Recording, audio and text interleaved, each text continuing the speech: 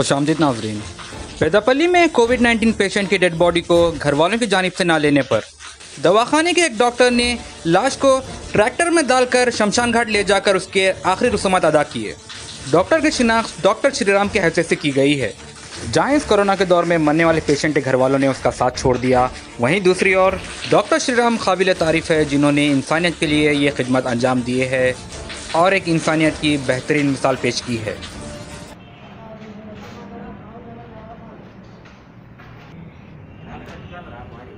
అదే అదే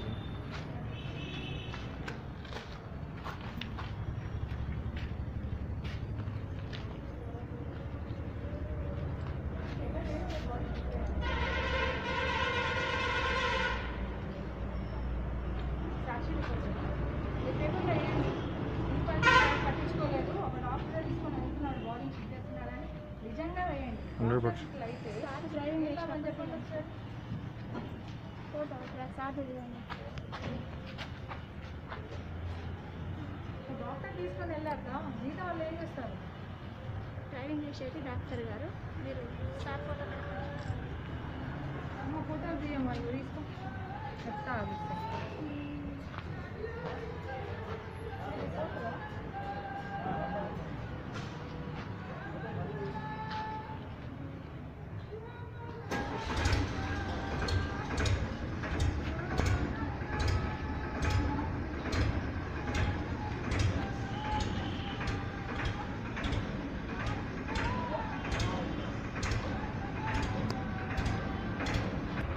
మీరు ఫోటోలు తీరు నేను వీడియో తీస్తున్నా.